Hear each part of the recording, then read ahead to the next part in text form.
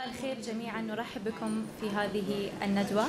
بداية يسر جمعية التجمع القومي التوجه بالشكر والتقدير للاتحاد النسائي البحريني بقبوله تنظيم هذه الفعالية بصورة مشتركة آملين أن تكون بداية لعمل أكبر ومستمر خلال الفترة المقبلة. نظمت هذه الندوة بمناسبة اليوم الدولي للقضاء على العنف ضد المرأة. حددتها الأمم الأمم المتحدة 25 نوفمبر من كل عام بهدف وقف الانتهاكات التي تتعرض إليها النساء والمساهمة في رفع مستوى الوعي حولها لما لهذا الموضوع من أهمية حيث يعد العنف ضد المرأة انتهاكا لحقوقها الإنسانية وعقبة كبيرة في طريقة في طريق تطورها بمختلف مجالات الحياة، كما يؤثر سلبا على صحتها وطموحها في التعليم والعمل وقدرتها على المشاركة بفعالية في المجتمع. على الرغم من المبادرات المحلية والدولية في هذا الشأن، لا يزال هناك طريق طويل يتعين قطعه على الصعيدين الدولي والمحلي. وحتى يومنا هذا قام اثنان فقط من أصل ثلاثة دول بتجريم العنف الأسري في حين لا تزال 37 دولة تمنح حصانة قانونية لمجرم مغتصب في حال زواجه من الضحية وإعفائه من العقوبة وكذلك هو الحال في التشريع البحريني. ولكن ماذا عن واقع العنف ضد المرأة في مملكة البحرين؟ هذا ما تحدثنا عنه المحامية الأستاذة شهزلان خميس.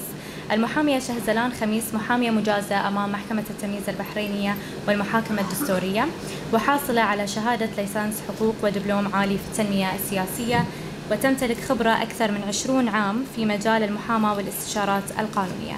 كما أنها عضوة في برنامج إعداد المحكمين ما يؤهلها الحصول على العضوية في التحكيم الدولي. كما أنها عضوة في العديد من الجمعيات المهنية والنسائية منها جمعية المحامين البحرينية والاتحاد النسائي البحريني وجمعية النساء الدولية. نرحب باسمكم جميعا بالمحامية شهزلان خميس تتفضل بتقديم محاضرتها مساء الخير. أه بداية حي نساء بلادي طبعا الذي اللاتي قدمنا الكثير. ولكن كنت بقول يؤسفني إن نساء البحرين وإحنا على وإحنا على أبواب 2020 ما زالوا يطالبون برفع التمييز والعنف عنهم ولكن بعد ما سمعت التقارير الإخبارية طبعا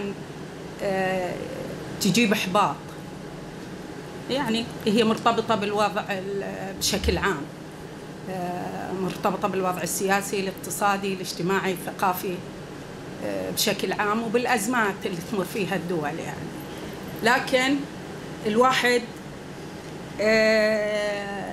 يعني يؤسف إن إحنا على أبواب وبعد ما المرأة قدمت الكثير الكثير وأعطت ما زال هناك تمييز ضد المرأة والمؤسف أكثر إن ما زالت القوانين في دول مثل البحرين دساتيرها في جوهرها أو في موادها في غالب موادها يعني تقر بالمساواة بين المرأة والرجل في جميع على جميع الأصعدة إلا أن ما زال يعني تمييز يقع على المرأة في كثير من القوانين. كنت بتكلم عن التمييز بشكل عام بس يعني فضلت أن أتكلم في الجانب القانوني. لأن الجانب القانوني مهم. لأن في في جوهرة في جانب ردعي وجانب تربوي للمجتمع. فبالتالي على مدى الوقت يعني زي ما يقولون في ردع إصلاح فعلى مدى الوقت المفروض لو هناك قوانين منصفة تتسق وتتفق مع الدستور ومواده لكان يعني صلح المجتمع رويدا رويدا. ولو طبق الدستور أنا في رأيي في مواده لكفانا حتى شر لكفانا حتى يعني طلب تطبيق الاتفاقيات الدولية مثل اتفاقية مناهضة العنف والعهود الدولية الأخرى. بعد أنا ما أخفيكم القول أن أنا ما زلت مدهوشة أن دستور 2002 المفروض الدستور يلقي بجبروته وقوته على القوانين الأخرى. المفروض بعد 2002 يتم تعديل كل القوانين المعمول بها في دولة البحرين. آه مثل قانون الجنسية قانون الجنائي يعني قوانين المتعلقة والقرارات المتعلقة بالإسكان ولكن يعني ما تم ذلك. في رأيي أنا لأن دائما تدار الأمور وتعالج بوجهة نظر سياسية لا على يعني لا بطريقة إنسانية أو بطريقة يعني بطريقة تتفق الموضوع نفسه وإنما كل الأمور تدار بطريقة سياسية وهني المعضلة. ولذلك كل السياسة تكرس التمييز. وتوضع المرأة في مرتبة أدنى من الرجل بالرغم من حقيقة كلنا نعرف حتى قررها المولى عز وجل إننا كنساء قد خلقنا والرجال من نفس واحدة كما جاء بقوله تعالى يا أيها الناس اتقوا ربكم الذي خلقكم من نفس واحدة وخلق منها زوجها وبث منها رجالا كثيرا ونساء واتقوا الله الذي تساءلون به والأرحام. إن الله كان عليكم رقيبا. بل وقرر في آية أخرى بأن التفضيل والتمييز لا يأتي لكون الشخص ذكرا أو أنثى. يا أيها الناس إنا خلقناكم من ذكر وأنثى. أكرمكم عند الله أتقاكم. صدق الله العلي العظيم. وممكن ملاحظة ولمس هذا التمييز ضد المرأة. جراء تقسيم المجتمع. ليس على أساس آه إنساني ومواطنة وإنما على أساس نوع الجنس إذا تلاحظون حتى القوانين يعني. حتى في التشريعات الوضعية اللي تمس المرأة كإنسان كفرد في المجتمع كمواطن يصح المجتمع بصحته ويمرض بمرضه. لو اطلعت على القوانين لقانون الجنسية بشكل تفصيلي واطلعت على قرارات الإسكان والقانون الجنائي قانون حتى العرف بتدرك أن شنو كمية الضيم والعسف والهدر اللي يصيب المرأة في كرامتها وإنسانيتها. خاصة حين تمارس دورها كمربية كمديرة لمؤسسة المجتمع الصغيرة وهي الأسرة أو كدورها كعضو عامل في المجتمع ومكلف بتأدية دور وظيفي متقدم مثلها مثل الرجل. والمرأة مثل ما نعرف عندها دورين في الدولة والمجتمع. وفي الأسرة واثنينهم تعتبرهم الدولة والمجتمع واجبات مقدسة.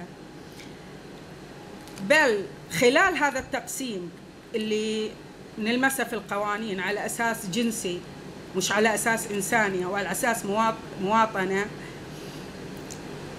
آه نلاحظ أن جميع القوانين آه ظلت ثابتة ما تحركت يعني. لم يحدث عليها أي تغيير.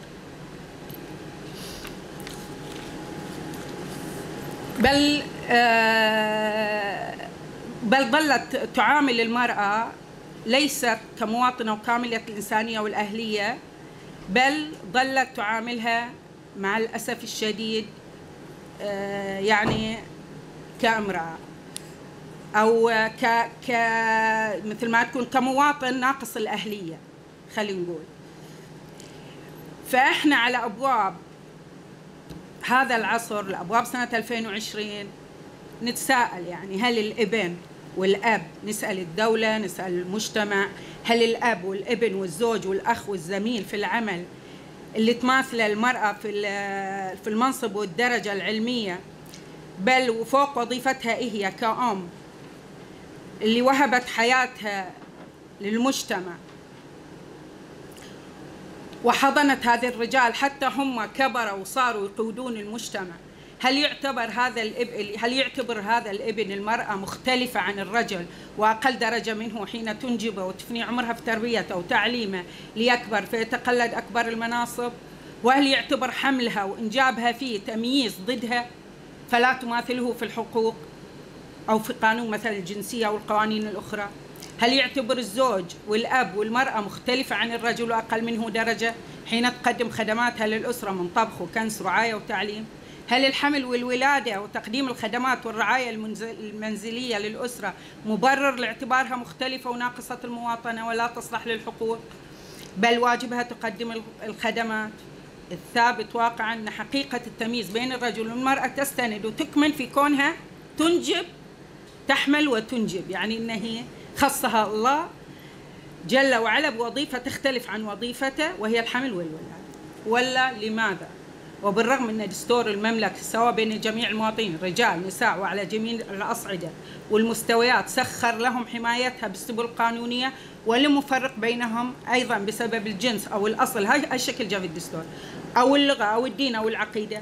وكفل مع المساواة في الحقوق مبدأ تكافؤ الفرص بين جميع المواطنين باختلاف أجناسهم وانتماءاتهم.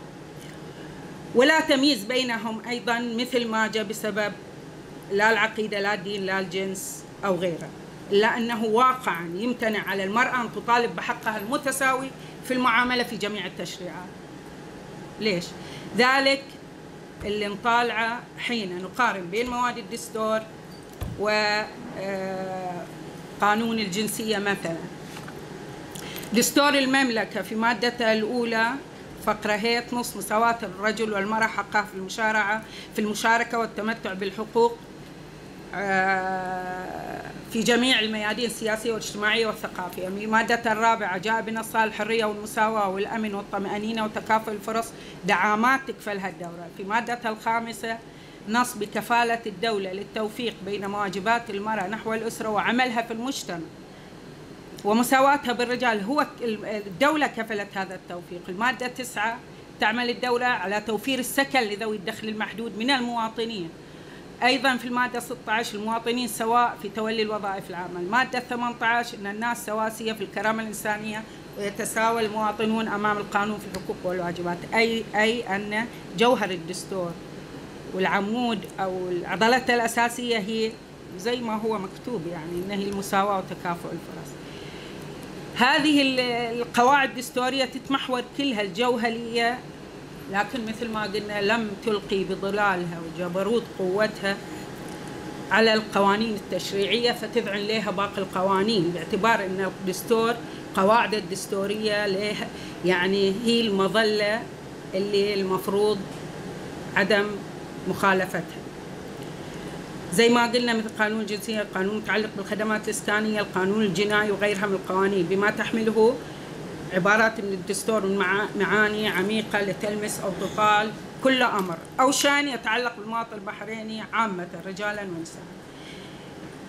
فقانون الجنسية اللي صدر 1963 يخالف الدستور اللي جاء في 2002 بل والطامة الكبرى جاء حرمان المرأة في حق إعطاء جنسيتها. لأبنائها تحت مبرر بأن هؤلاء الآباء آبائهم ليسوا بحرينيين. صوروا ورجعنا إلى شنو؟ أي هنا. أيضا لا قيمة ولا وزن لكونها مواطنة. لها كافة الحقوق. ويعد الحق لها في والمفروض تعطى الحق في إعطاء أو إكساب جنسيتها لأبنائها. ولا حاجة لوجود رجل يضفي الشرعية على هذا الحق. فالثابت واللي لا يقبل الجدل أن قانون الجنسية مخالف لقواعد الدستور نصا وروحا. بتكريس نص متعسف يعنف المرأة جسدا وروحا. بمعاملة لها ككيان ووجود لا حقوق له ويعلن عن وجودها في القانون. يعني كأنها ظلال. فالمفروض كظلال دائما تلحق وجود الرجل يضفي عليها الشرعية مثل ما قلنا. فلذلك ظلت يعني آه، الغير مفهوم يعني ده الحق اللي هو اكساب الجنسية. الرجل عنده ده الحق أصيل.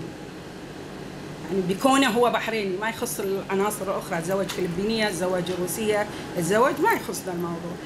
المرأة يعني ما أعرف هم مرة يبررونها إن الأولاد أبوهم في الأخير رجع ان أبوهم غير بحريني. لأن ده الحق مو للأولاد ده الحق تابع للمرأة كمواطن كمواطنة. هذا الحق عندها تعطيه متى ما أرادت وتمنعه متى ما أرادت. مثلها مثل الرجل. لكن هني يقول إذا هي متزوجة من غير بحريني أي أيضا رجعنا لمسألة آه، المفترض وجود رجل في حياتها. حتى قوانين الإسكان قرارات الوزارية مراسيمها جميعها تخص الرجل بالخدمات الإسكانية وتقصي المرأة كرب أسرة. وفي ذلك مخالفة واضحة لمواد الدستور مثل ما قلنا مواد الدستور شو تقول؟ بكفالة الدولة تضمن توفير سكن لذوي الدخل المحدود. هي ما عينت امرأة أو رجل. المفروض أن هذه المادة تنطبق أيضا على المرأة دون تمييز.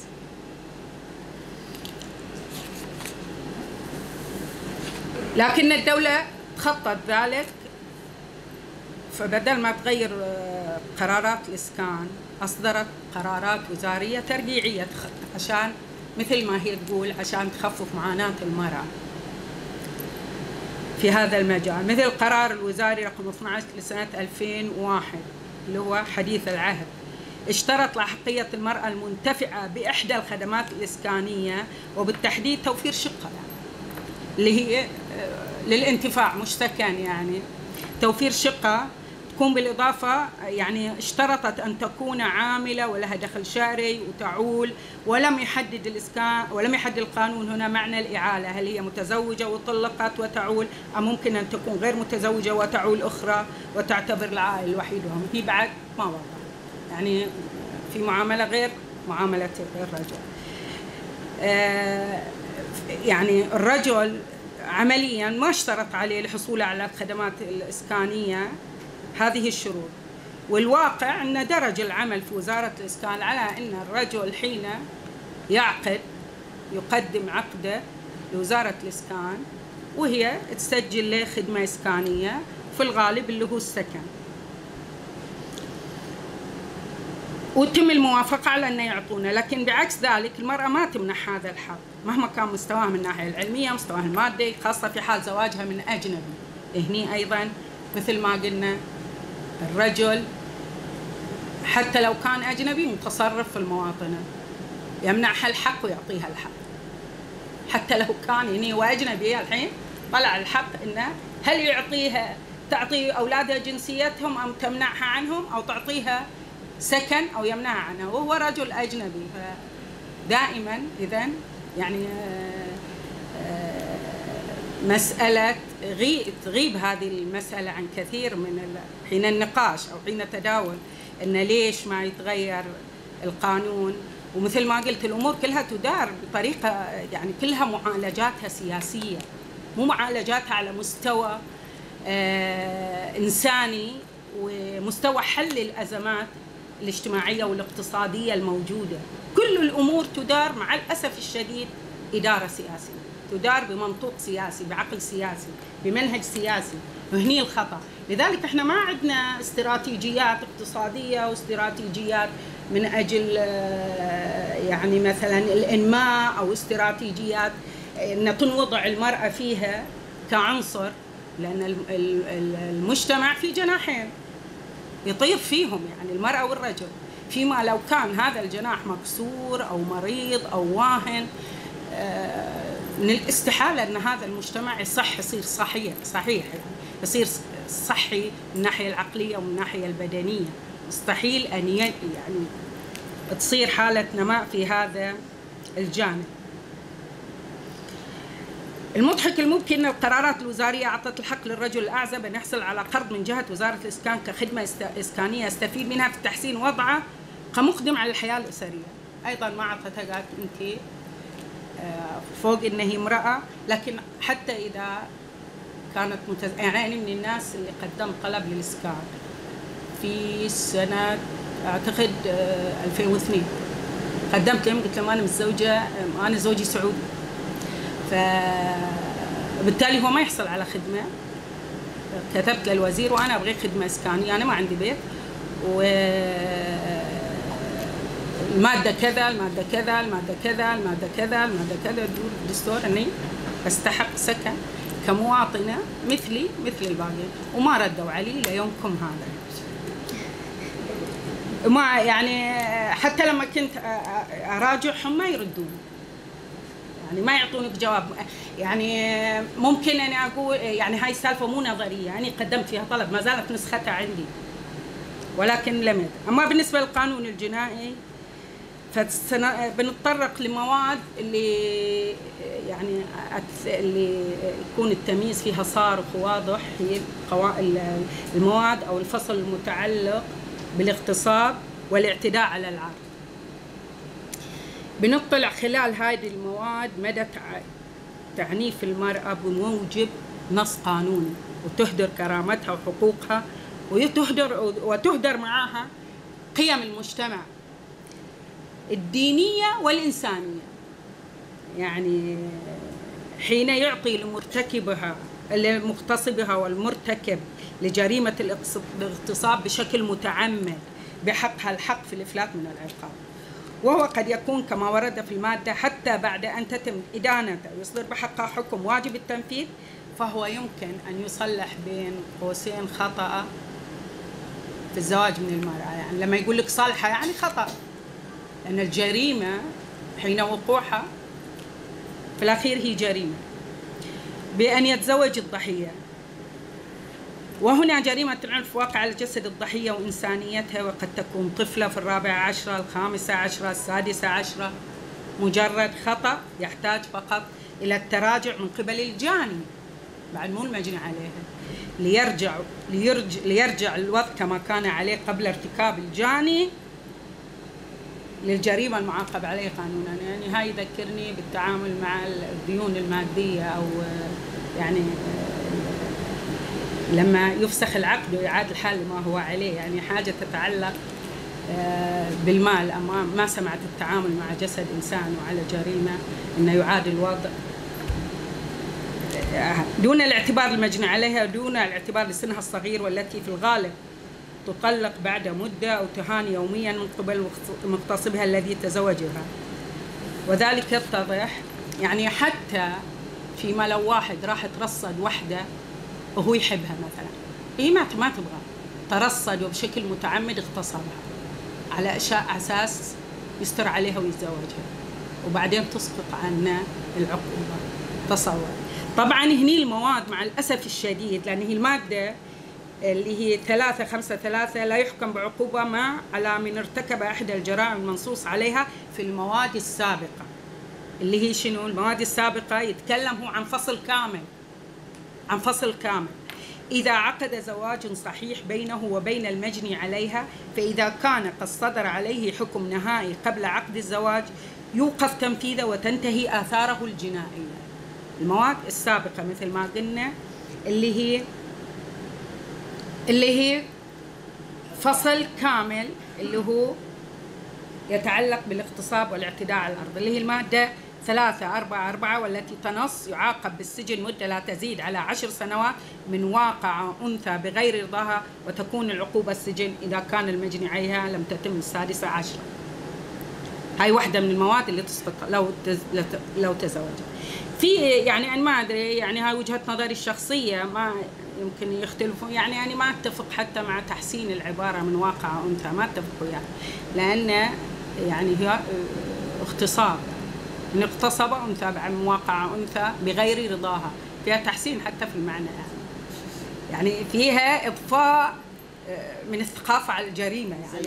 إيه على جريمة اغتصاب في المادة 345 والتي تنص على أن يعاقب بالسجن مدة لا تزيد على سبع سنوات من واقع أنثى بلغت السابعة ولم تتم السادسة عشرة. بلغت السابعة عشرة ولم تتم السادسة عشرة برضاها ويعاقب بالحبس مواقع أنثى أتمت السادسة عشرة ولم تتم الحادية والعشرين برضاها زين والمادة 346 والتي جاء بنصها يعاقب بالسجن مدة لا تزيد على سبع سنين من اعتدى على عرض شخص بغير الرضا وتكون العقوبة السجن إذا كان المجني عليه لم يتم سبعة. يعني هذه من ضمن المواد اللي قال أعلى صور حتى ما تبصر لما قال أعلى على نوع المواد يعني. لكل ما سبقته من مواد وتكون العقوبة السجن مدة لا تزيد على عشر سنوات إذا كان المجني عليه قد أتم السابعة ولم يتم السادسة عشرة المادة 347 والتي نصت يعاقب بالحبس من اعتداء على عرض شخص لم يتم الثامنة عشرة برضا إذا كان الجاني من أصول المجني عليه أو المتولين تربيته أو ملاحظته ولهم سلطة عليه أو خادما عنده أو عند أحد ممن تقدم ذكرهم هاي أيضا من ضمن. إذا كان الجاني من الموظفين العموميين أو مكلفين بخدمة عامة أو رجال دين أو أطباء ومعاونيهم أو استغل مركزه أو مهنته أو الثقافي إذا ساهم في اقتراف الجريمة شخصان فأكثر في التغلب على مقاومة المجني عليه أو تعاقبوا على ارتكاب الفعل. إذا أصيب المجني عليه بمرض تناسلي هاي تشديد العقوبة يتكلم عنه. هني إحنا نتكلم يعني هذه المادة اللي شددت فيها العقوبة وقصد المشرع من التشديد على أن هذا الشخص اللي اعتديت عليه واغتصبته هو تحت رعاية وحماية. زي الطبيب اللي يكشف على آه، مريضة. أو زي آه، يعني ممكن الطفل آه، اللي ما عنده أحد يرعاه تحدد المحكمة من يرعى فهو متولي تربيته أو رعايته. أو رجل دين. آه، رجل مكلف مثل في المستشفيات. أو رجل هاي كلها شدد المشرع العقوبة. شلون أنت تجي تقول في المادة في المواد السابقة؟ يعني هو هذا ارتكب جريمة مضاعفة. يعني فوق انه هو آه، يعني زي الأطباء يعتبرون عندهم قسم أيضا. يعني آه، على الحفاظ على المريض على سريته على احترام هذا المريض على جسده على ما إلى ذلك. شلون هذا ارتكب جريمتين في ذات الوقت؟ آه، وهو هني ترى إحنا نتكلم عن كل صغار السن. يعني 14 و15 و16 فشلون أنت تقول في المواد السابقة؟ هذه ما لي ما أفهم يعني. هل هو عدم تبصر؟ يعني في اللي وضع في اللي وضع هذه العبارة. عن إنه قال عن يعني شمل آه، فصل كامل من آه، يعني اللي هو الفصل اللي يقع تحته زي ما قلنا الاغتصاب والاعتداء على هل هو عدم تبصر؟ هل هو عدم مبالاة؟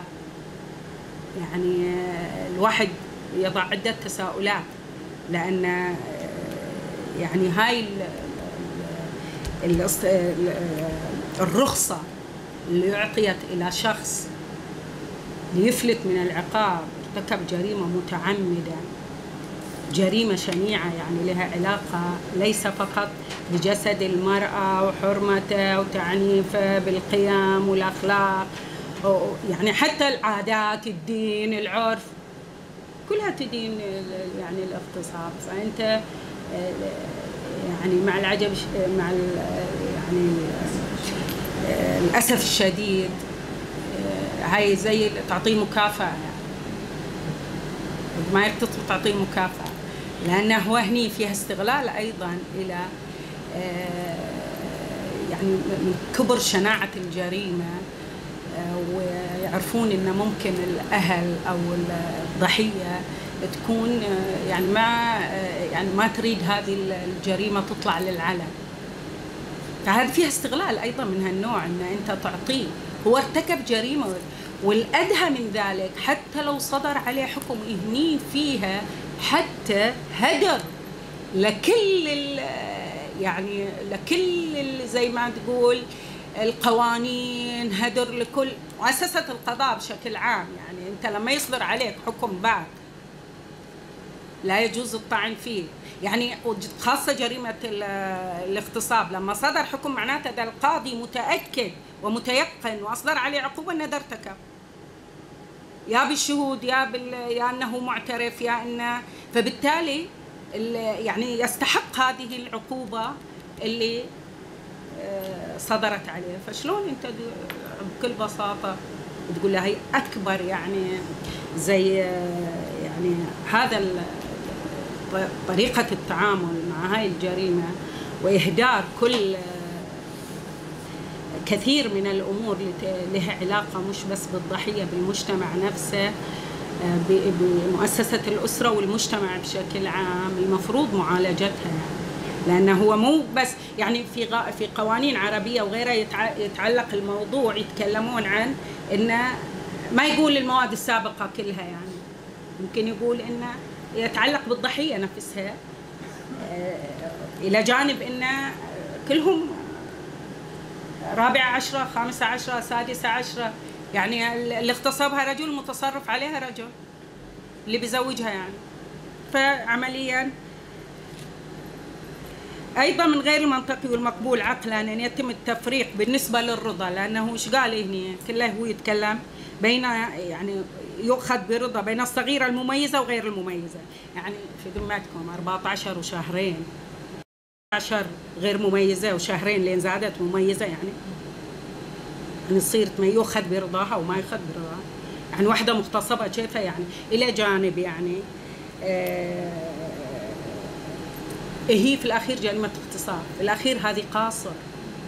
يعني هني أيضا في تلاعب في آه، عشان يعني أكون على حق يعني انه أو وجهة النظر صحيحة إن كل الأمور تؤخذ بمنظور سياسي. يعني أنت لما تقول تنتخ تنتخب يعني في في يسمونها آه، يؤخذ ب يعني إرادة الجاني آه، في النواحي الجنائية إذا كان عمره 18 سنة.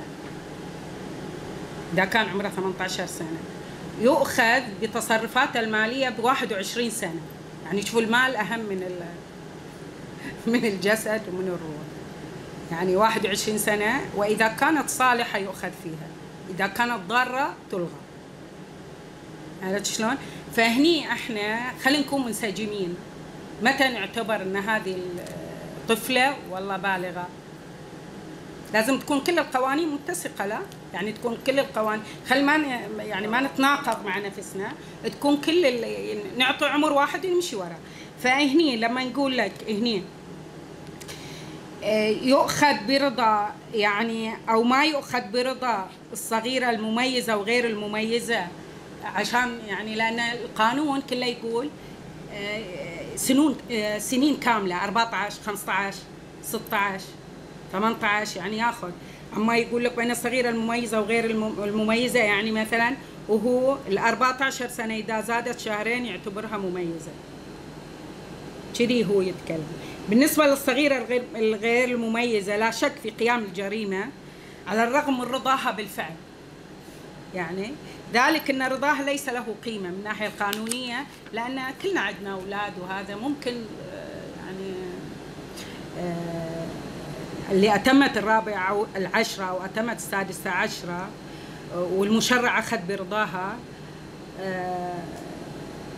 باعتبار إن الرضا الصادر من المجني عليها رضا معتبر به من الناحيه القانونية أي ليس عدم رضا. يعني الصغيرة دائما اللي 14 15 16 قليلة الخبرة بالحياة وسهلة الإغراء. يعني هذه ما ممكن نقول عنها. آه، يعني بالضبط صاحبة قرار. وما ممكن نعاملها على أنها هي مكتملة الأهل وممكن إلا بعد 20 آه، سنة أو 21 سنة اللي هو السن اللي ينتخب فيه. لا ما ممكن واحدة عمرها في هذا العمر تقدر خطورة الفعل على سمعتها ومستقبلها وإن كان هناك إرادتها لبعض القيمة من الناحية القانونية فإن ليس لها قيمة قانونية كاملة ومن ثم لا يمكن أن يقوم رضا صحيح ينفي جريمة الاغتصاب لذلك نرى هنا ضرورة المساواة بين المجني عليها التي لم تتم من الرابعة عشرة والتي أتمت الرابعة عشرة والسادسة عشرة ولم تتم العشرين. يعني إحنا نشوف أن المفروض كلهم هذين يضعون في سياق واحد أو لا يؤخذ برضاهم. فالمشرع في مواقع أخرى حمى الصغير زي ما قلنا في ذمة المالية ولم يعترف بالتصرفات التي تضر ضررا محضا حتى بلغة سن الواحد وعشرين. فكيف فكيف بجسد الصغيرة وعرضه ونفسيته ومستقبله؟ وهم في أخطر من ذمته من ذمة المالية بكثير. لذلك لزم أن يأخذ المشرع بعين الاعتبار أن هذه المسائل أيضا يعني من واقع عملي كمحامية حتى في جرائم الاغتصاب يعني المشرع لما قال عشر سنين و15 سنة ومؤبد إيش قصد المشرع؟ قصد أنه يشدد العقوبة يردع الجاني حين يفكر بارتكاب العقوبة. يجي القاضي عنده سلطة تقديرية ينزل بالعقوبة إلى أربع سنين ثلاث سنين. لأنه تصير يعني قسم قسم القانون الجنائي كعقوبات مخالفة وجنحة وجناية. اللي هي المخالفة اللي هي تؤخذ عليها غرامات مثل المرور. زين الجنحة اللي هي تحت ثلاث سنين العقوبة أربع ثلاث سنين الجناية اللي هي اللي هي العشر 15 20 اللي هي تعتبر جناية. فبالتالي لما يجي القاضي في بسلطته التقديرية في جرائم اغتصاب وهتك عرض وينزل بها إلى ثلاث سنين إيش معناته يعني؟ هو أيضا حتى غير من وصف الجريمة أصبحت هي مو جريمة اغتصاب وانما جنح فهني أيضا يجب يعني آه هو أيضا خالف آه يعني آه رأي المشرع أو القصد اللي شدد العقوبه من اجله آه المشرع شدد على هذه. لذلك إحنا نشوف يوميا كثير من المغتصبين يفلتون بجرائمهم بسنة بسنتان ثلاث سنوات في قضايا اغتصاب أو آه مثل ما قلنا يصلح خطأ. فبالتالي لزاما تقييد انه يقيد المشرع للقاضي بحد أدنى للعقوبة الدنيا. فيجعلها سبع سنين. مثلا. يعني ما يجوز أنت بعد تقول ولا تنزل بالعقوبة أكثر من كذي المفروض آه هاي بالنسبة للقانون الجنائي. أيضا بالنسبة للقوانين الأخرى مثل يعرفون غالبية الأخوات الموجودين هني بالنسبة إلى قانون العنف. أيضا هو القانون نفسه آه في غالبيته يعني وضعت مواد بشكل نظري. يعني دائما زي ما قلنا إحنا العقوبة مو بس لها قيمة الرد قيمة الإصلاح أيضا تربية.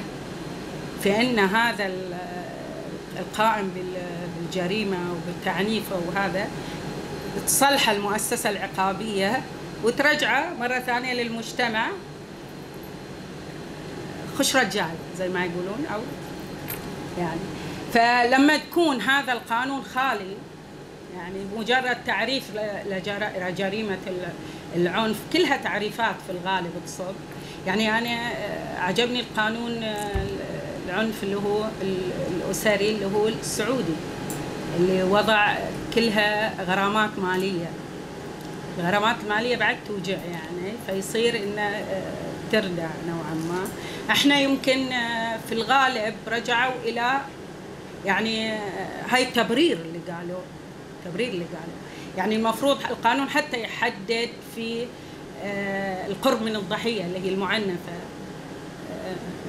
مثل ما تلاحظون هل يحق له على بعد هل قاعد يقترب منها وما يقترب منها المفروض يبعدونها عن سواء كانت البنت أو وأني لما كنت أعالج قضايا في الاتحاد شفت العجب يعني شفت اباء يعتدون على على بناتهم يعني في ش... بشك...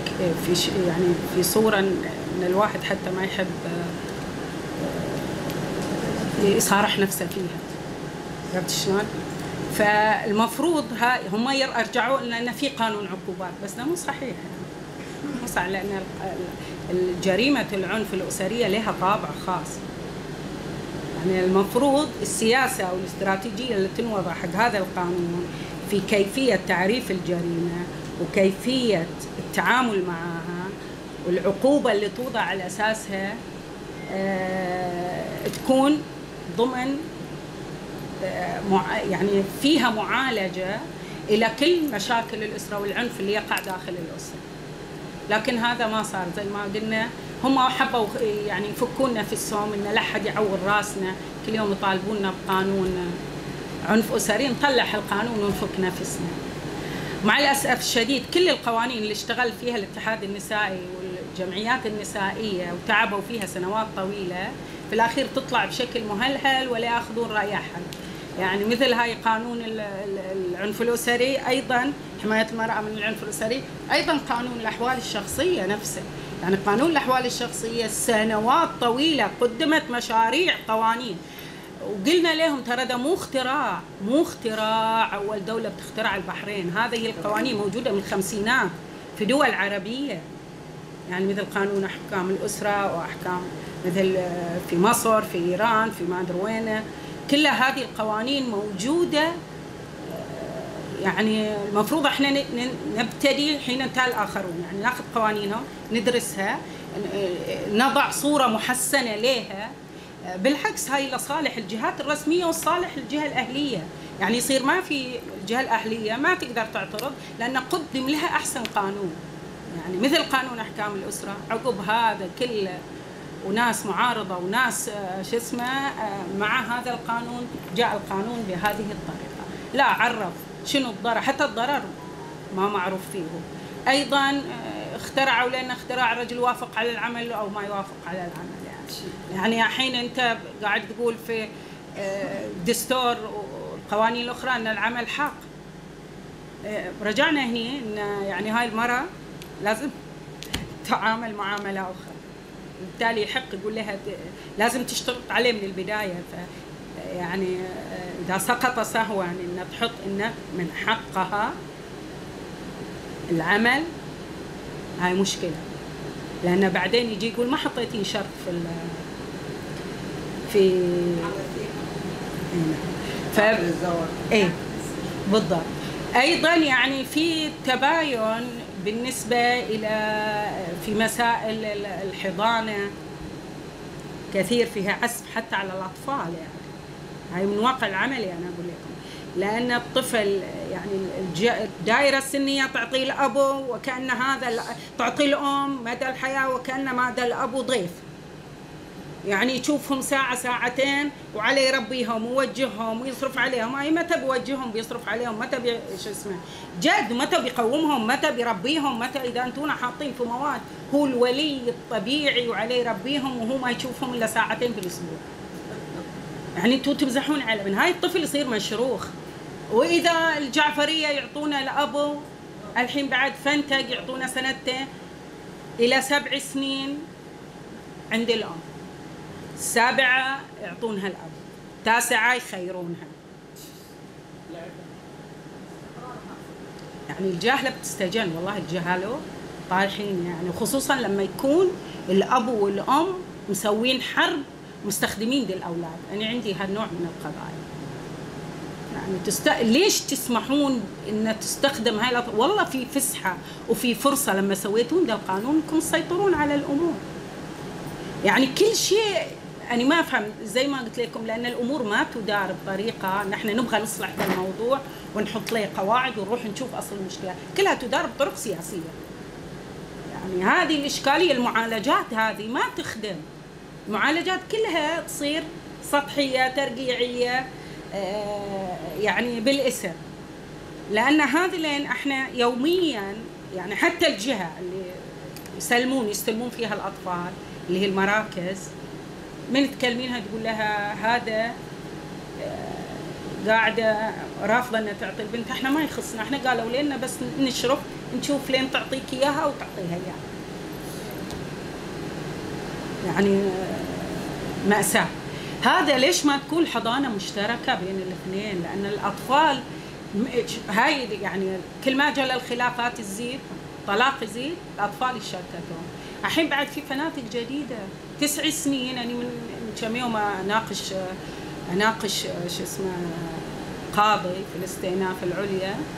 وهو مو عارف بعد يطرحها يعني. إن الحين الطفلة عقب ما تصير تسع سنين يعطونها أمها. خيروها. خيروها إيش معناتها يعني؟ عندها الخيار تقدر تختار من هو تبغى. تسع سنين. اذا أنت لين ترفع الدعوة إذا كانت مخيرينها هاي بعد يعني لما سمعت انفجعت. يعني لما تخيرها تخير الجاهلة اذا هو اعتبرها بالغة. بالغة عفوا يعني جتها الدورة. يعني هي خلاص. امرأة من حقها تقرر شنو تسوي. هذا في رأيي حتى القانون الجنائي جاء على هذا الأساس. إن هي امرأة ومن وتقرر كل شيء. فبالتالي أنت المفروض ترفع دعوة عليها مو على الأم. يعني ترفع دعوة تقول لها تبغين تباتيني يا البابا لو ما تبغين. عمرها تسع سنين. يعني هل هي يعني في توجه إن هذا المجتمع يخرب على أصحابه؟ ما أفهم. جد ما أفهم. يعني ماني قادرة أستوعب.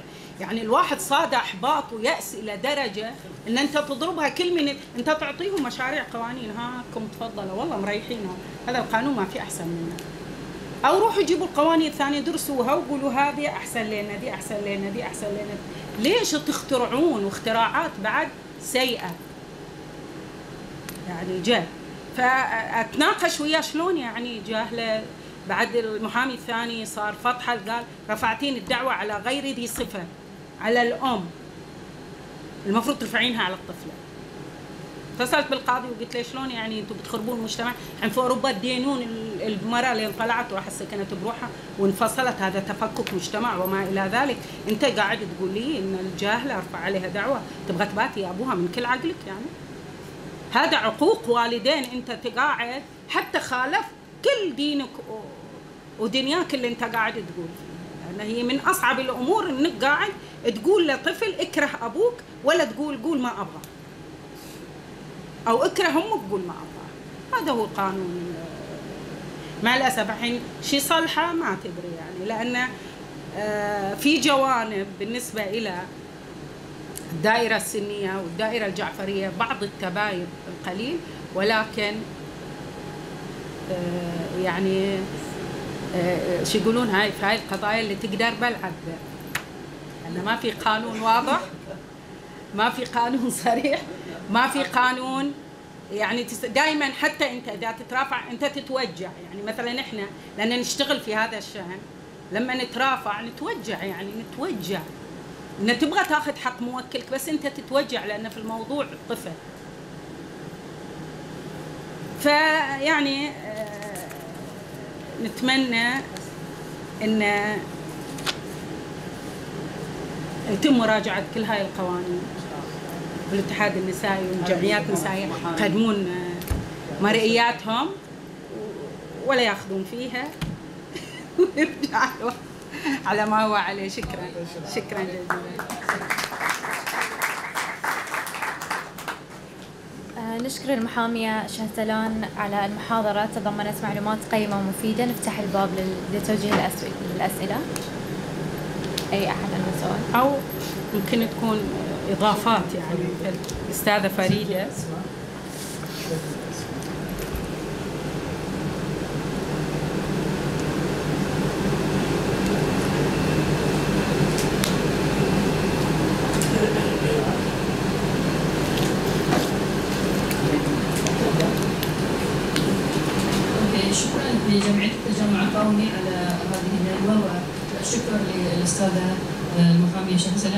وهي دائما آه، داعمة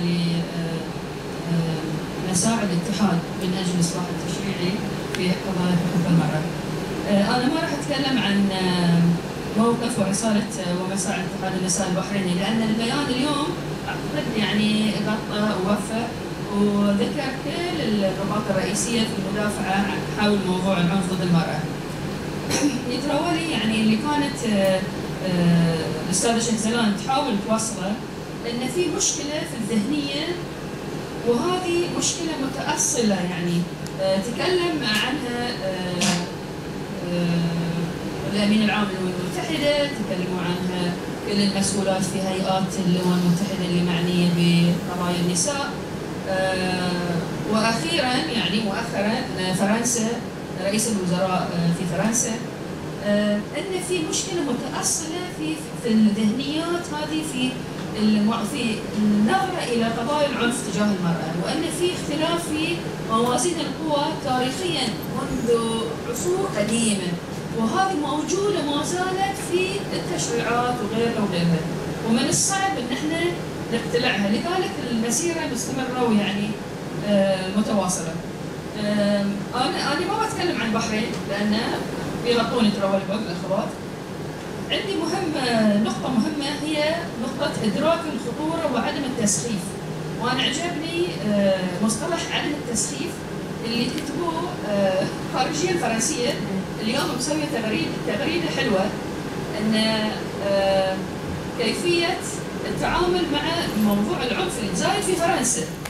وأنا بطرح هذه المسألة لأن عجبتني معالجتهم. يعني معالجة دولة مثل فرنسا معروف أنها وصلت آه، مستويات عالية في الحقوق والآخرين لكن ما تستحي ما تخجل من طرح هذا الموضوع وعالجته بطريقة صحيحة.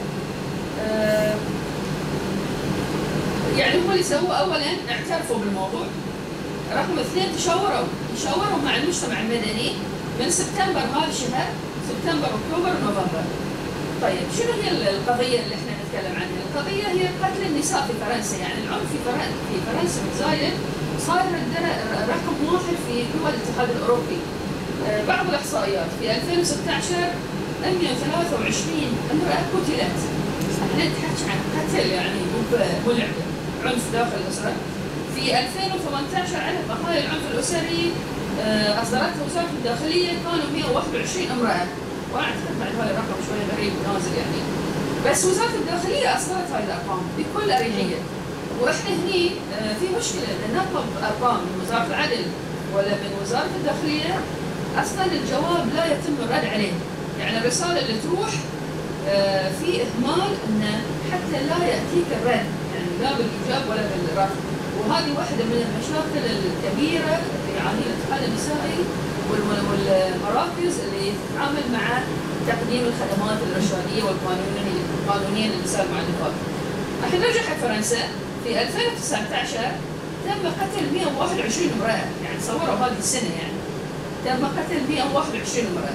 آه، صارت مظاهرات كبيرة العام 2018 وفي مظاهرات كبيرة آه، تم تسييرها قبل يومين في آه، تاريخ 23 آه، 150 ألف كانت كانوا مشاركين في 2018 و آه، آلاف كثيرة في مظاهرات السنة. وهذه نقطة ثانية أن أنت تقدر تطلع مظاهرة تتكلم فيها عن آه، موضوع. هني غير مسموح لك أن تتكلم عن آه، مظاهرة. غير مسموح لك أن تطلع في مظاهرة تتكلم عن موضوع اجتماعي. آه، يعني تعاني من الأمهات الأخوات الكل يعني نساء نساء من ال- من الوطن يعني. آه، ال- الحكومة الفرنسية وعدت ب 40 تدبير وهذه النقطة الجميلة طيب هناك 40 تدبير بتتخذ.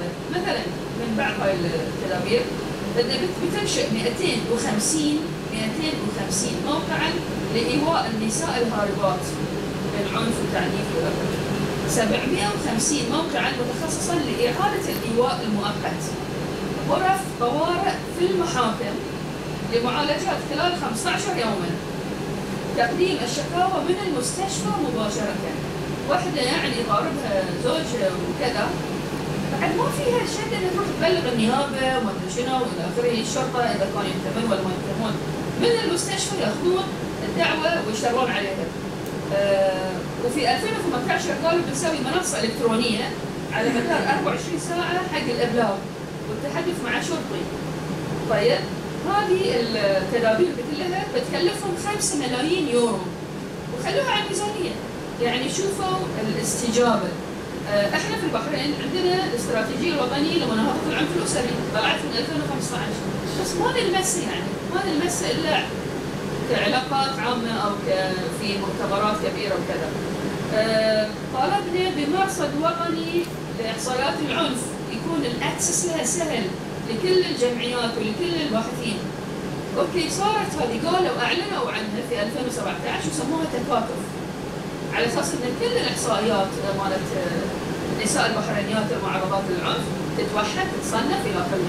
هذا الموضوع مو صعب ترى هذه يعني IT خلي جماعة ال IT وأنت كحكومة عندك ال facilities عندك السلطة إنك توحد هاي البيانات. لحد اليوم ذي ما في يعني ما شفنا التدبير.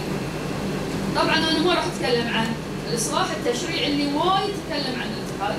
قانون الحماية من العنف الاسري ما زال مليء بالثغرات وهو قانون يعني أولي أولي آه، متخلف بالنسبة حق القوانين اللي فيها ردع وحمايه وتوفير وإلى آخره. آه، المادة 353 وهي الشعار حق الإعلان ال- ال- مال السنة هذه وايد تكلمنا فيه والأستاذة شيخ سلام وضحت تماما إنه مش بس ترى 353 353 صار مشهور لكن في بنود أخرى مثل ما قالت يعني في تلاعب في أرقام الأعمار إن من 7 إلى 16 ولا من 16 إلى 21 يعني معقولة؟ في في في استخفاف تحس في صياغة ال- ال- القوانين هذه. بعدين آه، المؤسسات مالت الخدمات الإرشادية يشتغلون شغل يعني هاي منظمة أهلية تقرع الجرس الجرس عفوا. بدأت هي بالتجارب هذه الرائدة آه، فكرة الإيواء فكرة الخدمات الارشاديه لحد ما الجانب الرسمي دخل آه، على الخط. وهذا شيء جيد لأنه ما في موازنات يعني. فهم سووا دار الإيواء اللي بعد يعاني من مشاكل كثيرة آه، ومن موضوع نشر الإحصاءات نشر وتوفير الدعم لازم. ففي مشاكل كثيرة في البحرين. إحنا إحنا بعد محظوظين إحنا مش مثل فرنسا ما وصلنا إلى هالدرجة من القتل يعني إلى آخره. ومشاكلنا قابلة للحل. لكن يعني ما في إرادة سياسية ما في اهتمام ما في آه يعني الجدية ما في الجدية. ولذلك إحنا نتكلم كل سنة ونكرر نفس الكلام آه ونقول لازم إصلاح تشريعي لازم تدابير ايجابيه وكذا. وعندنا يعني هاي وأنا عندي مجموعة من الإحصائيات العالمية ما أبي أقولها لأن حوالي يعني كف وايد طويل. وأشكركم على هذه آه بس إذا سمحتوا لي بعلق قليلا بالنسبة إلى أن الدولة ما تعطي حتى حالات الطلاق لما تقول لهم كم عدد حالات طلاق ممكن يعني آه يعني أنت ما تقول الحالات اللي طلقت أنت تقول الدعاوي اللي دخلت المحاكم بطلب الطلاق يرفضون يعطونك يا أخي. أقول لك كل الأمور تدال بشكل عقلية عجيبة يعني. إنزين هل إذا أعطيناك إذا طلعتون حالات الطلاق يعني هاي دولة فاشلة يا أخي. هاي الطلاق موجود عدم الاتفاق حرية شخصية وموجود في كل الأمور. إلى جانب إن لفتني في في الموضوع الفرنسي إن الوزارات نفسها شاركت بمبالغ يعني هي رصدوا 5 مليون يورو إن وزارة العدل عطت حصة وزارة الصحة وزارة الإسكان عطت حصة بما معناته الكل مشارك في هالاستراتيجية لحلها أيضا نسيت تعليق نسيت ملاحظة بسيطة أو مو ملاحظة معلومة بسيطة. بالنسبة للإسكان يعني أنا بعد ناقشت وياهم مسألة إن المرأة الحاضنة حين تتقدم عشان يعطونها قرض تصوروا يعطونها قرض ياخذون أكثر من نصف فوائد. يعني تقعد يعني أنتم يعني الحين هم ساعدوها. ساعدوها ناس قالوا هاي حاضنة وعطوها قرض عشان تبني. يعني أنا عندي موكلة أخذت من عندهم 45 مسجلين عليها 72 اتصلت فيني وقالت لي اكم عاطيني 72 اتصلت بمحاميتهم قالت لي اي دي مصروفات إدارية. قلت لها الله أكبر مصروفات إدارية أزيد من البنك. فكل من قعدوا في مكان. تكلمت النساء قالوا إحنا ندعم النساء. الحاضنات تدعم. زين تدعمون النساء. لما تعطونها قرض تاخذون كثرة. أو فعلا مصروفات إدارية يعني 600 700 دينار 1000 دينار يا أخي. إيش تاخذون؟ ازيد من نص القرض.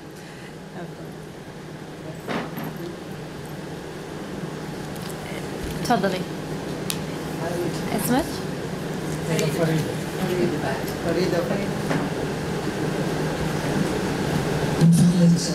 ذكرتي أنت أن يعني في الدين زين الدين الإسلامي في آيات واضحة عن مساواه المراه والرجل خلقنا خلقناكم ذكرا وانثى ولكن في نفس الوقت يعني في بعض الأحيان أن الأسباب ترجع إلى الدين. عندنا مثلا هو قول الرسول المرأة ناقصة عقلا ودينا بعدين بالإرث بعد للذكر حق الأنثيين زين هاي؟ هاي واحد. من اللي يعني رأيك بعدين آه لما واحد يقرأ واجد آه في الموضوع يبين أن كلمة الشرف في, في, في في المسميات العربية الإسلامية ترتبط دائما بالمرأة. ولا ترتبط ولا ترتبط الكلمة شرف بالرجل. زين؟ ولا ولا ترتبط كلمة الشرف بعقل المرأة ولكن جسد المرأة. لماذا؟ وعندما نقرأ أكثر ذلك تبين يعني أصل هاي المفهوم قديم جدا يرجع إلى تاريخ العرب القبليه القبائل. كان شرف المرأة عندهم مهم جدا لأن القبائل كانت في صراع مع بعض. وكانوا يعني يحبون ويريدون يتاكدون ان اولادهم من دمهم عشان يقدرون يحاربون قبيله ثانية وان هذه هاي الفكرة نشات ولكن امتدت إلى الان ان كلمه شرف ما زال المجتمع الاسلامي ترتبط بالمرأة. وليس عقل المرأة ولكن جسد المرأة. شنو رئيس آه، يعني ما أعرف هل هل أوكي. يلا. تفضل. عاد أنا انسى قولوا لي. وشكرا أنت قبل اس- اسمك شكرا للأستاذ شهزلان وأيضا شكرا أنا في تابعت النصف الأول تابعت النصف الأول اونلاين يعني حسنات البث المباشر تابعت الجزء اللي تكلمت عن الاستاذ شهزلان بخصوص الماده 353 اونلاين وأنا أحس فعلا يعني انها الكلام عن فقط العودة إلى ما أعلاه كلها مواد ما أعلاه كلها مواد جدا صعبة يعني إن اللي حط المادة هذه 353 كأنه مو متيقن يعني شنو قاعد يقول. آه، النقطة الثانية اللي أبغى أتكلم عنها آه، في مشكلة يعني في آه، في وضع التشريعات إن إحنا آه، لازم نفصل أو أو شنو الخط الفاصل بين أن الحكومة حطت هذا التشريع؟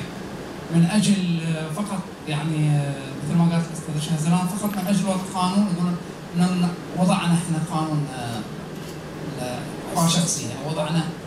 آه، طبعا هذا الشيء نفسه تكرر فترة قريبة الآن في 2018 طلع تعديل في قانون العمل حديث جدا مرتبط بنفس الموضوع يتكلم عن التحرش في موقع العمل. ونفس الشيء طبعا. هذا التشريع جاء في سياق أيضا قاعد يصير الحين ضغط في منظمه العمل الدوليه على موضوع التحرش موقع العمل والعنف في موقع العمل طبعا ضد النوع بشكل عام رجل أو امرأة وليس تحديدا المرأة. فهم جو أيضا سلقوا تشريع آه، على وجه السرعة آه، يعاقب آه، 100 دينار آه، التحرش بالزميل و- أو سجن سنة. وإذا كان صاحب عمل يسجن ستة أشهر. يعني إذا كان سوبرفايزر أو صاحب عمل انخفض السجن ولكن ارتفعت آه، الغرام الغرامة. يعني أهم 100 شيء الغرام إلى 500 دينار. ف يعني أنا أتمنى أيضا الاتحاد النسائي ينظر لهالموضوع أيضا لأن في علاقة الحين في التحرش في موقع العمل والتحرش في خارج موقع العمل وكان موضوع جدال كبير في منظمات العمل الدولية خصوصا طبيعه موقع العمل الحين ما هو موقع العمل. الحين موقع العمل في العمل البيت الحين بعد هل موقع العمل أيضا يعني موضوع جدا حديث ويحتاج أيضا مقاربة يعني. آه، أنا فقط يعني اكد على أن إحنا بالفعل نعاني من هذه المشكلة أن لما يكون الهدف هو سياسي أو مثل ما ذكرت الاستاذه في موضوع قانون الحقوق الشخصية مثلا بسبب الصراع مع المعارضة على قبول الاوراق و- أو لما يكون الهدف هو فقط يعني علاقات آه، يعني دولي يعني يعني إيه علاقات عامة يعني. طبعا هاي إشكالات في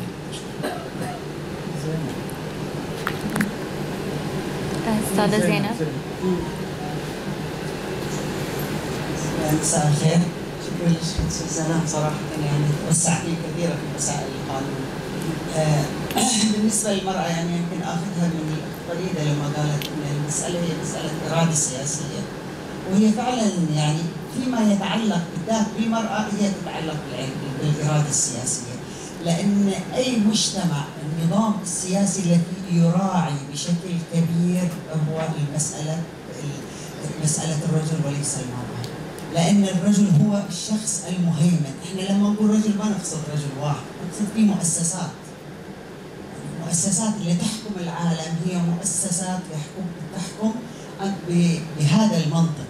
منطق إن الرجل هو الشخص المتفوق المؤسسة اللي هي تضع القوانين وهي اللي تمشي أي بلد في العالم لما ال- لما ال- في بريطانيا تغيرت كثير من الأمور في نهاية القرن الثامن عشر لصالح المرأة وفي بداية القرن العشرين يعني تصور أن بريطانيا أعطت المرأة ال- أن هي تصوت في الانتخابات ومن حقها في 1926 25 ترى مو من زمان يعني.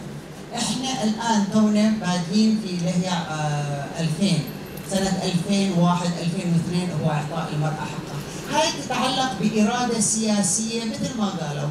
هل إحنا نحتاج الآن إلى قانون يتماشى مع الوضع بشكل عام الدولي والداخلي بحيث يعني أحيانا قوانين يعني على قولتهم للترقيع على ماء الوجه. واحيانا قوانين تتماشى ورغبة الرجل يعني. في تحقيق أرباح أخرى كمؤسسات. في أمريكا بعد الحرب لما صارت الحرب العالمية الثانية الرجال كلها ذهبت إلى الحرب. من بيشغل المصانع؟ من بيدخل أرباح لهذه المؤسسات الرأسمالية؟ المرأة. أخرجوا المرأة من البيت غيروا لباسها غيروا عقليتها ودخلوها في المصانع علشان تشتغل وخلوها تلعب كرة قدم خلوها تلعب كرة بيسبول وخلوها تلعب كرة سلة. لأن هذا تحقيق لأرباح وضمن إرادة سياسية. ولكن هذه الحركة اللي صارت خلت الكثير من النساء بخلق يعني جيل من النساء يعي لما يحدث. يعي بشكل كبير لهذا الجانب وبالتالي طلعت الكثير من المنظمات النسائية والكثير من المنظمات اللي تطالب بتحقيق مساواة للمرأة طبعا مسألة المساواة تدرجت أيضا تاريخيا. لذلك حتى إحنا هنا في البحرين نقول إن الاستمرارية في المطالب هي التي ستؤدي إلى تغيير الكثير من الأمور. ولكن مسألة إن والله المرأة هي اللي ضد المرأة والمرأة عقلها كذا والمرأة صوتت لهذا لأن ما تعجب هذه هذه أمور طبيعية في أي مجتمع تحدث مش هي الأساس لتوقف المرأة يعني عن تقدمها في تحقيقها المرأة يجب أن تستمر لأن هذه الاستمرارية هي اللي بتغير هذه العقلية وهي اللي بتفرض ضغط على المجتمع كمؤسسات عليا تحكم ها للتغيير. سواء كان لما يكون في صالحها لصالح الربح اللي تحققه هي تقف مع المرأة لما صارت طلعت في الخمسينات مسائل في أمريكا وفي أوروبا كلها إن كيف أستفيد من الأفلام تجاريا وأحولها لعملية تجارية؟ صارت المراه مسموح لها تمثل صارت المراه أوكي تغني صارت المراه كذا. كثير من الأشياء تتغير بحسب حركة المجتمع وحركة الاقتصاد فيه. فهناك إرادة سياسية اللي تتماشى مع تحرك البلد تجاريا واقتصاديا. هذا لا يمكن الفرار منه. بالنسبة إلى المرأة في في في مجتمعنا إحنا في البحرين نفس الطريقة. هاي على ذلك الآن إحنا في مجتمعات ما زالت مغلقة بشكل أكبر. وما زالت لحد الآن أمامها باع طويل على أساس تتغير وتغير النظرة النمطية إلى هذه المرأة. وبالتالي الإرادة السياسية أيضا تراعي هذا الجانب. يعني أنا لما أكون في السلطة السياسية مش بس فقط مهم بالنسبة لي المرأة ماذا تريد. أنا أيضا عندي هناك آه، اسمها آه، عندي لوبيات عندي جماعات ضغط أيضا باتجاه آخر لتحقيق الربح أيضا يجب أن أراعي هذا الجانب. من الميزان شلون يتوازن هني بتبتدي مسألة حركة المرأة وحركة مساواتها في كل العالم بهذا الشكل. لذلك نجد فرنسا الدولة الأول. يعني الثورة الفرنسية اللي على أساس آه، أساس دستورها قام العهد الدولي لحقوق الإنسان في الأربعينيات. يعني كلها تماشيا مع الثورة الفرنسية اللي نادت بالمساواة والحرية وغيرها. سمعتوا شنو اللي قاعد يصير إلى اليوم وبالتالي هذه الأمور لا تتحقق يعني أمور المساواة وأمور التوازن بتظل في الطبيعة البشرية إلى الأبد. ولكن أنت في كل فترة زمنية تحاولين أن تحققين يعني قدر الأمكن الممكن من المساواة. وبتظل مسألة إن المس... ال- العنف يعني موجود في داخل مجتمعاتنا لأن هذه بعد تتعلق بالطبيعة بطبيعة الإنسان نفسه يعني. كغرائز وكغيرها ولكن كيف نحول هذه الغرائز إلى جانب إنساني واجتماعي يعني الكل يتقبله يختلف من مجتمع إلى آخر، لذلك ما زالت المرأة تضرب مثلا في البحرين تعتبر ان زوجها ضربها شيء عادي يعني. بينما تعتبر جريمة في مجتمعات أخرى تؤثر. الدنيا تقوم بتقعد ضربها نفسيتها تعبت مسكينه رجبوا لها طبيب نفسي. هني هني تطلع لي شركات في البحرين في الواتساب. آه، يقول إيه تربية الأطفال يجب الاهتمام فيها وحساسة و يقول أوه إحنا يضربوا لنا كف ونمشي ولا يهمنا. هاي الفروقات الاجتماعية والثقافية اللي بين المجتمعات تؤثر أيضا على طبيعة القوانين اللي تصدر في البحرين الآن. ما بنتكلم عن دول أخرى. فيظل القانون باستمرار يستخدم ضد المرأة في كل المجتمعات. أنا أعتبر المادة 353 هي عنف مقنن من الدولة ضد المرأة لأن هي قانون.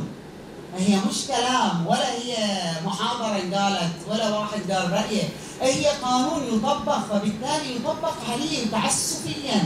علي أنا كامرأة بدون الاهتمام برأيي أو بأن- بإنسانيتي أو بأن شنو بينما لا يطبق على الرجل شيء. يعني هذه لما لما تكلمت الاخت سلام عن الدستور وقالت المواطنه والمواطنين والم... بس ما قالوا مواطنة. إحنا في هني في في ثقافتنا لما يقول مواطن يقصد فيه الرجل بس لا يقصد المرأة. لذلك اختلفوا في الدستور في 1900 في السبعينيات حول مسألة سوري عمرنا حول مسألة إن المرأة ترشح ولا ما ترشح؟ قالوا الدستور قال المواطن ما قال المواطن والمواطن. مواطنين. وما زلنا نعاني من هذه المسألة. لذلك القوانين الآن يعني أنت لما تستخدم القانون حتى الدستور كعنف ضد المرأة. طبيعي أن يعني القوانين التي تأتي تفسير لهذا الدستور وعلى أساسها تمشي المؤسسة بتكون أيضا قوانين هي تمارس العنف ضد المرأة. خلينا نراجع كل القوانين مش فقط المادة 353 كل القوانين سواء كان قانون الجعفري ولا القانون السني ولا القوانين آه، العقوبات ولا كلها فيها إذا بتطالعينها هي عنف مقنن ضد المرأة، إحنا نقول بغض النظر النساء. كلها توافق على حقوقها أو ما توافق هذا. مش مهم، المهم يكون القانون في صالح المرأة هي تريد تطبقه ما تطبقه it's up أنا من حقي أقول إني بشتغل أو بقعد في البيت ولكن يجب أن يدعمني القانون. إحنا هني المرأة تعاني لأن القانون في صالح الرجل وليس المرأة. وأسفة على التطويل. ده مسك ترى ماسك العافية.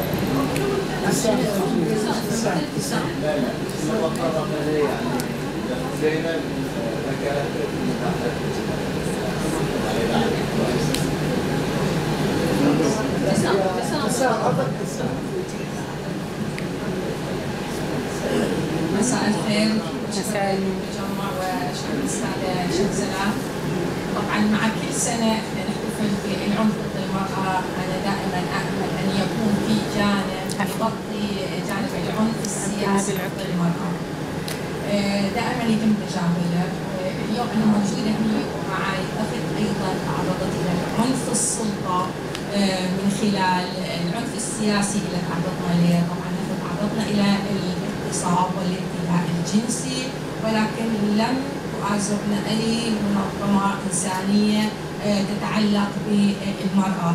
آه، لم نرى أي أحد من الاتحاد النسائي أو الجمعيات النسائية تبنت قضايانا ورفعت قضايا ضد المؤسسات التي تستخدم التعذيب والاغتصاب والتهديد والعنف ضد المرأة. يتم تجاهل هذا الجانب وهذا الجانب مهم. إذا إحنا نقول بأن هناك سلطات تمارس العنف إذا لن نلوم الرجل عندما يمارس العنف في المنزل يجب أن يكون القانون يشمل السلطة يشمل الجهات الحكومية التي آه، تمارس العنف السياسي التي آه، تحرم المرأة من أن تكون جزء مشارك في التغيير أو في تحسين حالة حقوق الإنسان وتتهمها يعني من ضمن الأشياء التي عرضت لها أثناء التحقيق كان يقول لي آه، الجلاد الذي كان يتباهى بأنه جلاد كان يقول لي ابتسام أنت تعتقدين نفسك أو أنت مثلت عشرة رجال. أنا لا أفرق عن الرجل في المطالبة بحقوقي وبتحسين حالة حقوق الإنسان في البحرين يفترض أن أنا أكون امرأة مثل الرجل ولكن المؤسسات الوطنية وحتى هذه الاحتفالات دائما تغض النظر عن مسألة عنف العنف السياسي الذي تعرض له المرأة. كم عدد النساء الل- اللاتي آه، وقعن تحت التعذيب خلال هذه السنوات الماضية؟ لم يكن في هذه الاحتفالات واحدة من هذه النساء تستدعى ويكون لها آه، كلمتها آه، من أجل آه، إنهاء العنف السياسي. اليوم أنا هنا موجودة لأني أقول بأن الشعار اليوم اللون البرتقالي الفاقع. وأنا ألبس البرتقالي. لأقول لكم نحن نساء موجودات هنا في البحرين لأننا نطالب بحقوقنا ولن نتراجع عن هذا الشيء. ونريد أن يكون ملف العنف النسائي ملف مغلق آه، فيه تدعم حقوق المرأة في كل آه، الظروف. وأيضا المرأة يجب أن تدعمها والرجل بالأساس يجب أن يدعم لأن هذه المرأة ستكون امه أو اخته أو آه، أحد اقربائه فيجب أن يكون نهاية لهذا العنف من خلال دعمها، كيف دعمها؟ آه، مؤسسات نسائية تتبنى هذه المرأة الضحية التي تتحول من آه، مطالبة أو تتحرك من مواطنة عاديه إلى ضحية. يجب أن يكون هناك محامين يتبنون القضايا التي تتعلق بالمرأة والتي تتعرض للعنف من قبل اي جهه على رأسهم السلطة وخصوصا الجانب السياسي.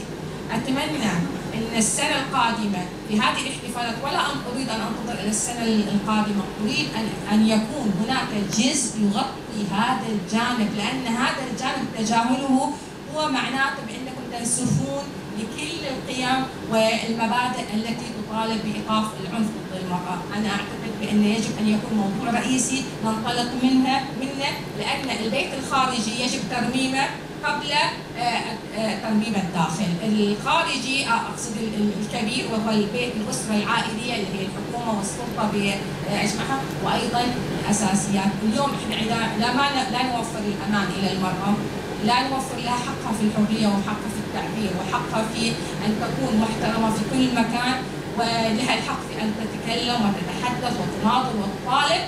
إذا نحن اليوم نقتل جزء من حريتها ون- ونصادر جزء من حقها في أن تكون موجودة وتكون شعلة برتقالية تقول أنا موجودة لا لا تغفلوا عني أنا موجودة وأطالب بحقوقي. وأيضا عندما نصل جميعنا إلى اي قضية فيها انتصار لحق العدالة لأي أمرأة هو انتصار للمجتمع بأجمعه. يجب أن يكون هناك انتصار حقوقي وانتصار. اليوم أنا أتكلم معكم وما مثل ما أقرب لديها أيضا زميلة قاست نفس التعذيب والاعتداء الجنسي. تبنتنا مؤسسات دولية في الخارج وطالبت وساندتنا ولكن آه، المؤسسات المحلية تغافلت وأرادت لا تريد أن تسمع أو لا تريد أن تتكلم لانها لا تستطيع عاجزة عن مساعدتنا أو عاجزة عن إيقاف هذا الضرر. اليوم المطلوب من تلك المؤسسات أن تتبنى كل حالات العنف ومن على رأسها العنف السياسي. آه، إذا سمحتوا لي أنا برد على هالموضوع قبل ال- الباقيين أولا آه، نقدم أني أعتذر عن كل النساء وأعتذر عن الاتحاد النسائي وأعتذر عن كل المحاميات الزميلات وأعتذر عن كل الجمعيات. ولكن للعلم أني كنت عضو مجلس إدارة وطرحت على الإدارة الدفاع عن كل السجينات يمكن اللي كانوا وياي في الإدارة يتذكرون بعضهم موجودين هنا تبني الاتحاد ما يتبنى واحدة في أنغولا وواحدة في زيمبابوي وواحدة في ما أدري وين. وإحنا هني يطلعون يطرشون برقية حق ال- الأمم المتحدة يتضامنون مع واحدة في زيمبابوي ما أدري منو ساطرينها سوالف. لهم خلونا نترافع كمحاميات عن عن النساء اللي دخلوا السجن. يا أخي هذه أنا بت- بتبرع بالدفاع باسمكم يعني عنهم.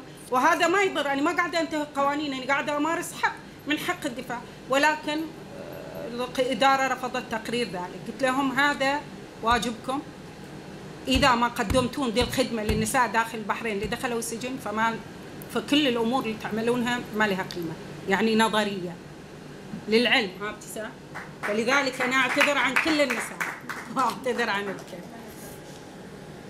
أما الباقي يعني دافعنا بشكل شخصي بشكل شخصي لكن أنا قصدي نتكلم عن ال- الاتحاد أي عبد النبي؟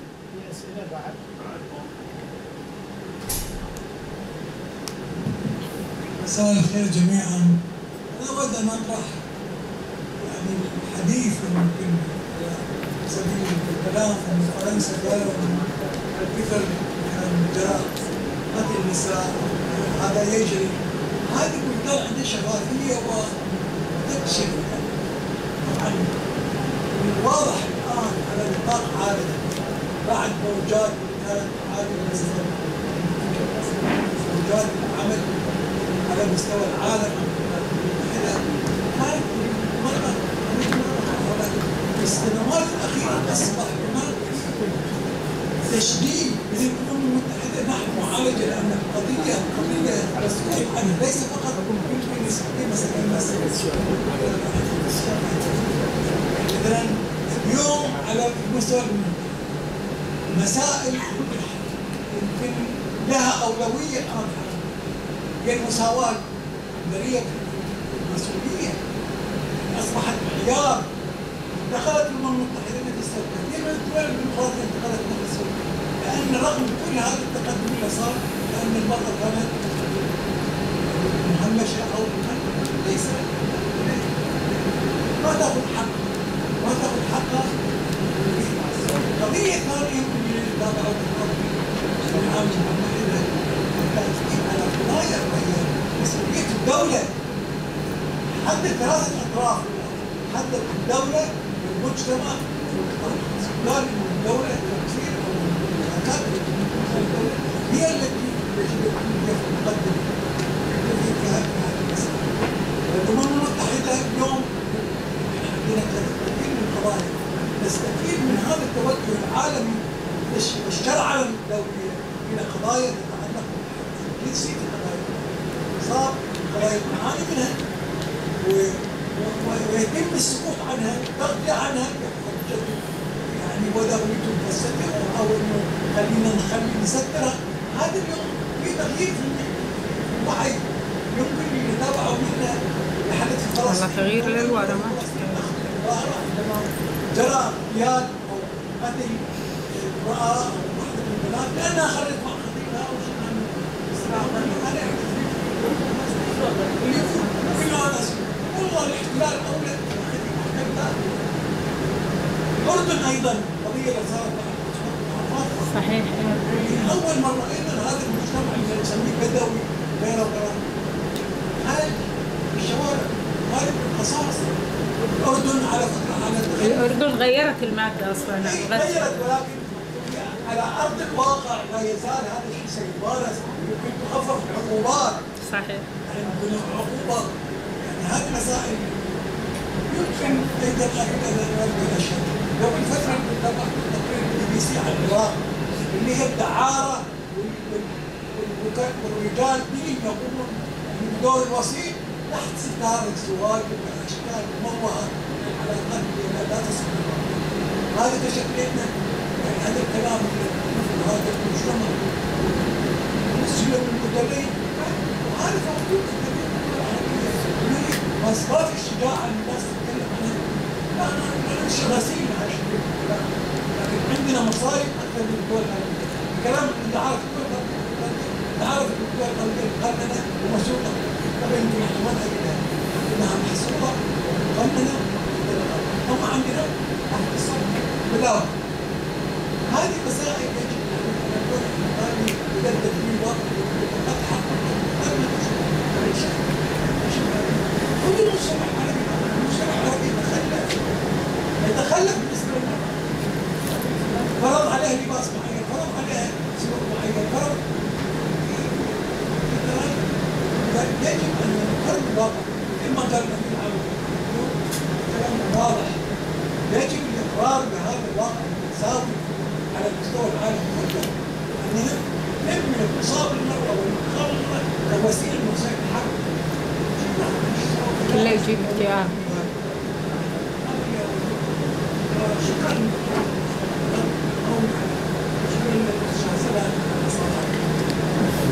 في أحد عنده أي سؤال ثاني؟ لا؟ آه،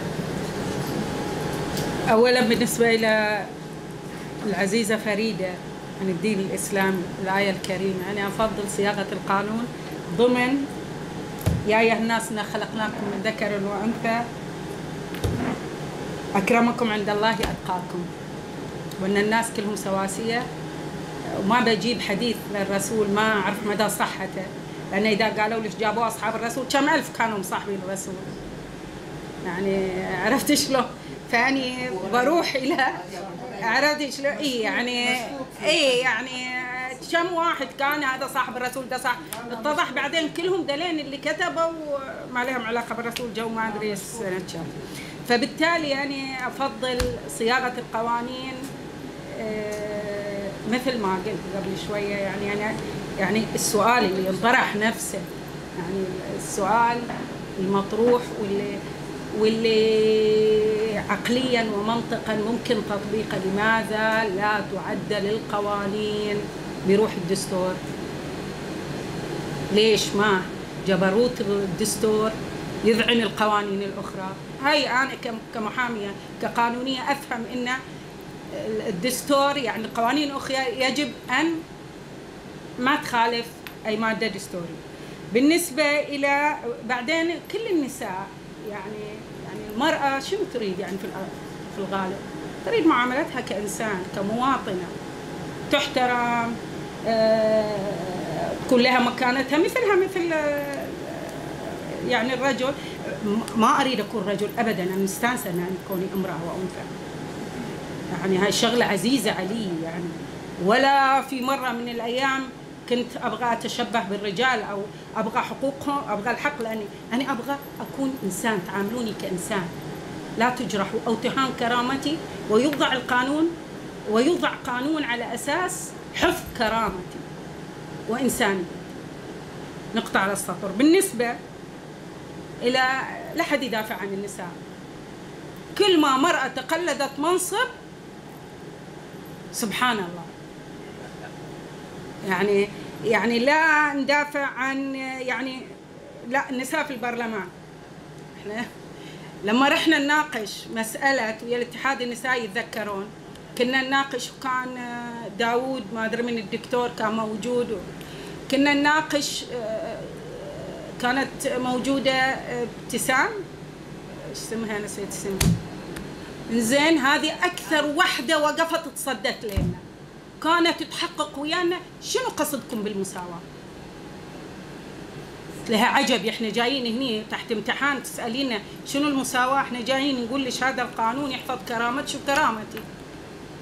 لا نبغى نصير رجال ولا جا ولا تحطينا في موضوع. جايبة إياها مجموعة من دلين اللي كانوا العفنين اللي كانوا في السابق في هذا وهي متصدرة تبغى تقول لهم إن اني رئيسة اللجنة القانونية فبالتالي أو رئيسة لجنة المرأة على ما أعتقد فبالتالي أنا اللي أتصدى لهم.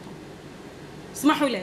ولا انتون قاعدين ويوميا تشوفون هالتويتر اللي معورين ببراسنا هالنسوان اللي دشوا ال- البرلمان واللي وين الدنيا وينهم؟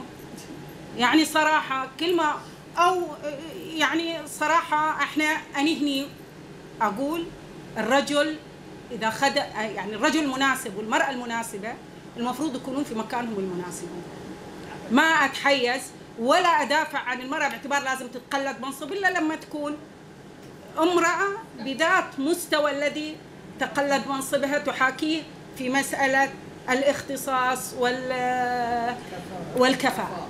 يعني عمري. يعني الحين اللي موجودين في البرلمان أو في مجلس الشورى. لما نروح إحنا يتصدون لنا يعني في مسألة معينة. والله النساء ليش نعطيهم جن حق الجنسية؟ كل يوم متزوجين لنا واحد أجنبي. ما الرجال ما خلى أحد يعني أكو نفس الشيء. ما إحنا ما نقول لكم. لا جد ما قالت تعطي زوجها قلنا لهم بالنسبة للزوج ممكن تخلونها ضمن مراحل معينة وتدرج معين بس الولد هذا يعني أني وبعدين ده الحق اللي عندي. هذا حق أنت لا تناقشني أنا أعطيه من يعني أني أنت تعتبرني مواطنة أو لا؟ ليش تطالبني بخدمات معينة ويقوم غالبية العمل علي في الأسرة وفي الأماكن الأخرى؟ والحين أنت لما أجي أقول لك أن أنا أطالب بحقي كأني مسترجلة هذا ما يخصها على المستوى الإنساني.